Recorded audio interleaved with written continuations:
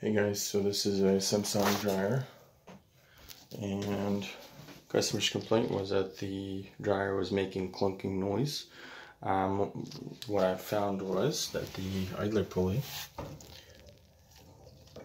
um, basically these jam up and they, they the belt spins on it and creates a groove in it. Um, so you have to replace this whole assembly. Um, that's going to be the idler pulley could see all the residue from from the uh, the belt. Um, these are very common. If this goes out completely and the wheel falls off, this switch will depress and um, when you press start, it will not start at all. Um, so if your dryer doesn't start at all, there's two things possible.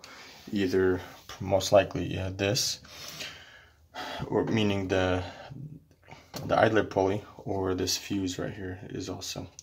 Um, so that's the most common thing we replace on Samsung dryers.